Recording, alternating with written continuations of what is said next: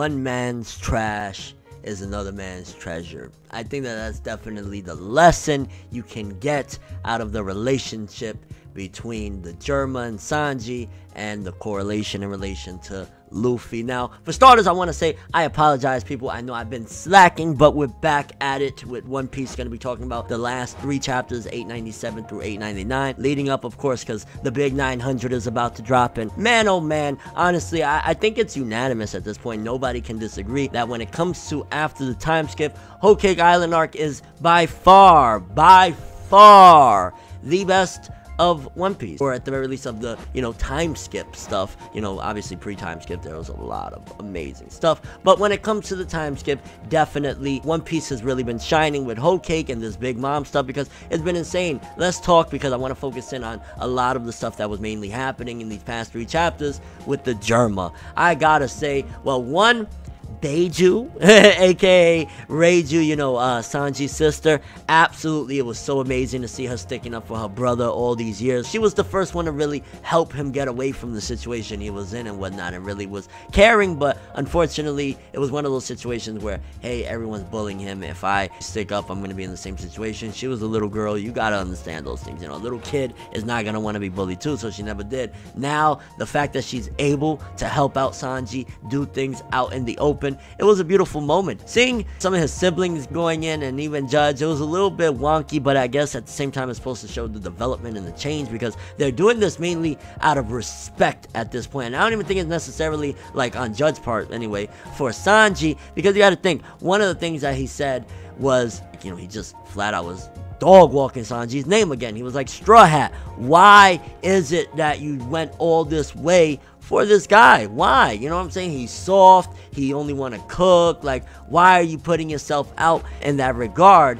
And, well, one is like, bro, Judge, Stop it. Stop it before Sanji kicks you in your face again. Cut it out. Cut the shenanigans already, bro. You already cried and, and begged and everything. Like, stop it, Judge. Cut it out. The shenanigans need to quit, okay? It was wild to hear, you know, Judge saying all this stuff, bro. You was just crying earlier on in this arc. Like, what, what, how you, how dare you disrespect Sanji? But on top of that, the beautiful thing of it all, and I loved it, very in Luffy character and all around great, great stuff was when Luffy said, yo, this guy's weird. Why is he mentioning your best qualities? That was insanely deeper than most people will think. A lot of people are going to laugh and say, oh, typical Luffy. But that truly goes into what I started this video with saying. One man's trash is another man's treasure. Judge looks at Sanji as like, yo, you're a failure, bro. You're just cooking. Like, yo, you soft dog. Like this and that.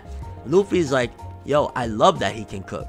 I love that he's, you know, well, I was going to say that he's soft, but then that'd be a whole different uh, manga. So we're going to pause that one right there. But the point being is that Luffy appreciates Sanji for the same things and the same reason why Judge despises him and doesn't look at him as one of his true offspring, so to speak. So definitely a really complex situation there that I love was at face value just a joke. Luffy never catches things, but beneath the surface, definitely a lot more complex than, you know, meets the eye. Now, honestly, just seeing the Germa in general it's cool that they're getting their moment. I think this was definitely all building and leading up to it. Oda had this plan for sure of kind of not necessarily redemption because even still, again, look, judges, you know, talking crap, and I don't think the brothers really care for Sanji like that, like that. Even though putting in work, I guarantee you, Sanji would get all of them. Sanji could probably take all of them. I mean, look what happened with Judge. Judge had to cheat and get you know the bodies in front of him to protect him and shit like that. Like on a one-on-one, I think Sanji could get all of them, but with the brothers, it was like okay, you know, they were kind of just staying in character. They weren't being mean to Sanji. They were just kind of helping out. And it's like, whatever, they want to be mean, that's fine and dandy, but it was just interesting to see them, but at the same time, it's awkward. With Reiju, it's fine because we know she's wanted to help out Sanji for years. She loves her brother, she cares for him. She's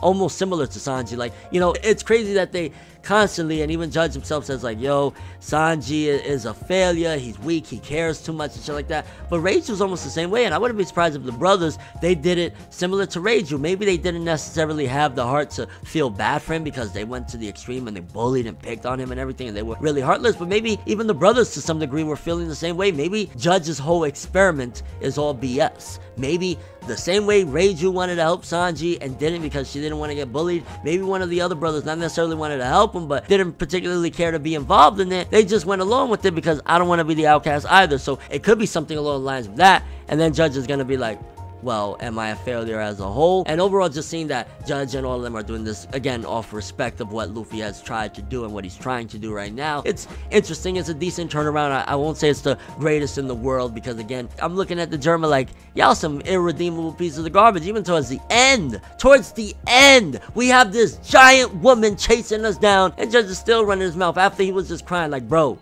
Judge, knock it off again with the shenanigans. Now let's talk a little bit since we brought her up. Big Mom, the whole central focal point of everything. She is absolutely at an all-time craziness. Yo, she don't care if you're her son. She don't care if you're sticking your head up her butthole right now. You're going. You're gone. She's gonna do you Dr. Seuss, so to speak. Because Big Mom is just completely lost it at this point. I think because remember, we're leading into 900. The very next chapter, which it could be tomorrow, whenever it comes out, is going to be 900. Maybe we could see the defeat of Big Mom. Because if Big Mom is at this much of a fragile state, there's either two ways. It could be one last big sort of, not explosion in the literal sense, but like one last big explosive power rage.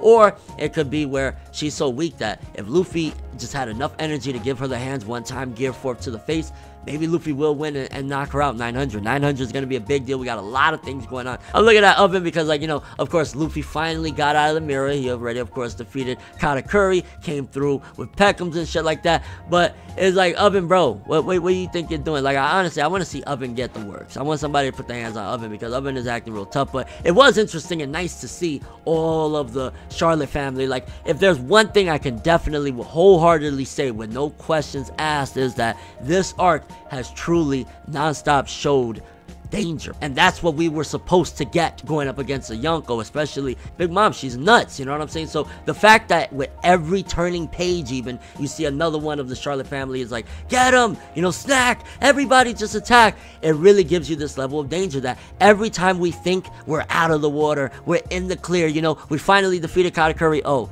there's Oven and them waiting outside. Oh, we're finally getting away. Oh, there's more people. It really shows this is no joke. This is not no bullshit. She didn't become a Yonko for no reason. This crew is not on the level that they're at for no reason because it's like I don't get a chance to breathe, which is what makes this arc even more intense and interesting than a lot of the previous arcs is that it never stops. Big Mom is hunting them down, and at this point, she don't even know what she's hunting down anymore. This cake is so vital to stopping this woman that I don't even think it's gonna be the cake at this point. I think possibly she'll be around Luffy at some given point. She's gonna make her way back around them, and he's gonna probably punch her in the face with the cake, knocking her out. Big news! Luffy just knocked out a Yonko. What do you think that's gonna do for his reputation in the world of One Piece? At that point, Big Mom probably won't even be able to show her face if her loss is losing all of her weight and a cake being punched into her face. That would be insane, honestly. So definitely interesting turn of events there. What's going on with Pekoms and the whole transformation. I'm digging it. I think it's cool. And I don't want to poke on old stuff and completely trail off. But I gotta say, when we got into Dressrosa, and we got introduced to the Tontattas,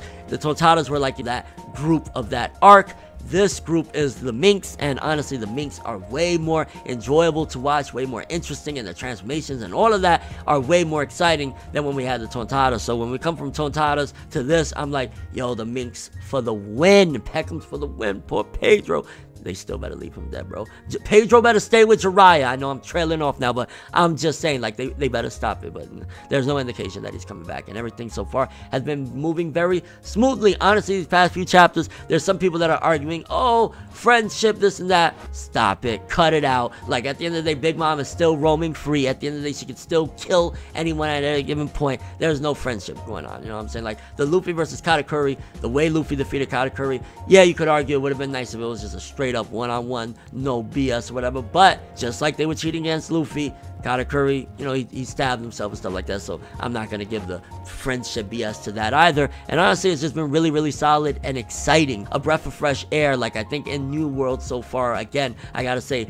this arc completely blows all of the other ones out the water. Punk Hazard, not a chance. Fishman Island, get out of here. And then, of course, speaking of Fishman Island, let's quickly talk about Wadatsumi and the Fishman showing up as well. I think that was brilliant. You notice Oda once again, the mastermind, which I know there gotta be more people because there's too many plot lines that reach and bear fruit to great things. Even the small plot line of Jinbei leaving the fishman, you know, he's like, I'm calling it, you know, I'm gonna rock with Straw Hat now. I promised him, let's do it. And them coming back to see him off and seeing the big monster looking motherfucker from Fishman Island. Great callback, great thing, and a great addition of why Jinbei is awesome to the team. A lot of people were hoping that he would have been like the martyr, so to speak, because it would have allowed more danger. But Jinbei being a part of this whatever, yo, we got to sea at our back. Luffy needs everything he can possibly have because if you're looking at it right now, if he can't take out Big Mom right now, how is he going to eventually one day overthrow the government, stop everybody, and become the Pirate King and get One Piece? It's not gonna happen. He needs everything. Yo, he got the sea with him. Overall,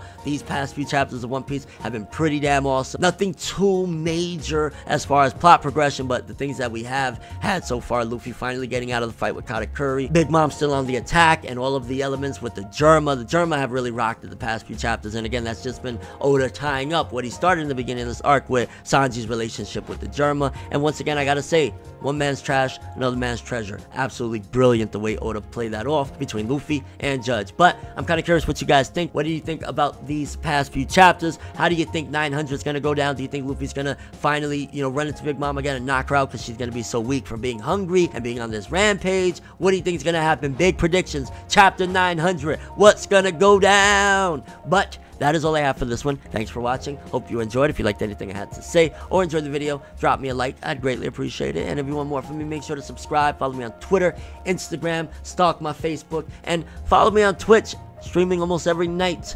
To get more when the video ends, I'm Fornever World, and as always, people have an awesome day. And remember the golden rule anime and manga for life, boy. Bow. Have an awesome day. Sometimes I'd be in your face and hit like Genjutsu in place. That's how it be though. Nothing but great effort just to get a C though. Eyes watching, but we never seem to be though. Even when stakes are high, we never seem to meet yo. It's always please yo, never satisfied though. What the fuck I gotta do to get by though? No matter how much I seem to fucking try though. At times I really wanna motherfucking die.